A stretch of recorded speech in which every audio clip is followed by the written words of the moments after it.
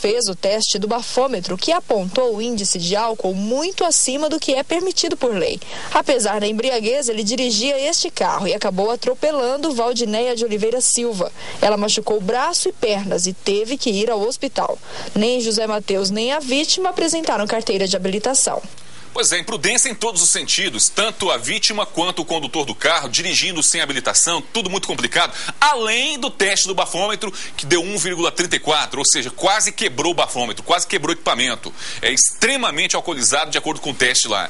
É um crime de trânsito gravíssimo, você coloca em risco a sociedade. Queria pegar carona nessas duas reportagens que acabamos de mostrar, tanto lá da Água Branca, quanto esse, esse, esse, esse atropelamento ali, essa batida que houve entre a moto e o carro, para falar que ontem estava voltando de Palmeiras de Goiás pela BR-060 e presenciei vários flagrantes de imprudência, vários motoristas querendo fazer ultrapassagem em curva, em locais proibidos, proibidos, em alta velocidade, um total desrespeito em relação às leis de trânsito no interior do estado de Goiás, no sentido Palmeiras para capital. Gente, eu fiquei assustado. Não dá mais para dirigir nas BRs goianas, nas BRs ou nas GOs, porque simplesmente o que tem de gente apressadinho, querendo chegar em casa mais cedo e colocando em risco a vida das outras pessoas é algo absurdo.